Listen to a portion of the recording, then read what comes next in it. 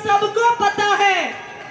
ये आज मुझे बताने की ज़रूरत नहीं है कि पिछले दो साल से भारतीय जनता पार्टी की केंद्र सरकार ने अरविंद केजरीवाल जी को और आम आदमी पार्टी को परेशान करने में कोई भी कसर नहीं छोड़ी।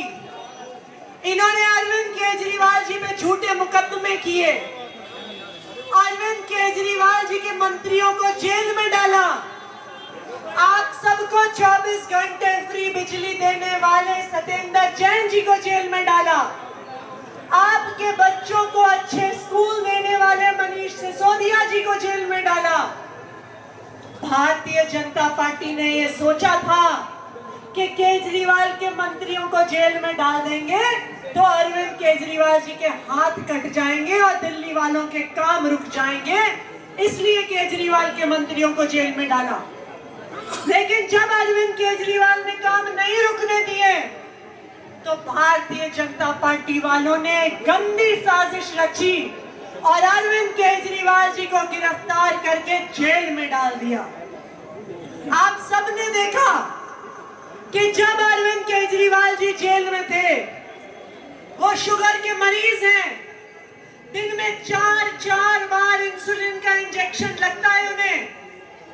लेकिन इन लोगों ने इतनी गंदी राजनीति करी कि अरविंद केजरीवाल जी की दवाइयाँ तक रोक दी, अरविंद केजरीवाल जी के इंजेक्शन तक रोक दिए। ये है भारतीय जनता पार्टी की गंदी राजनीति, ये है उनकी घटिया राजनीति। क्यों उन्होंने केजरीवाल को जेल में डाला? इसलिए डाला क्योंकि वो दिल्ली के लोगों के काम रोकना चाहते थे। क्योंकि अरविंद केजरीवाल 24 घंटे बिजली देते हैं, फिर भी फ्री बिजली देते हैं। क्योंकि अरविंद केजरीवाल ने दिल्ली की हर हर घर तक पानी पहुँचाया, चाहे कोई छोटी से छोटी झुग्गी में भी रहता हो, आज उनके घर में पानी आता है, ये इज़्ज़त अरविंद केजरीवाल जी ने दी, आज तक किसी नेता ने नहीं दी थी।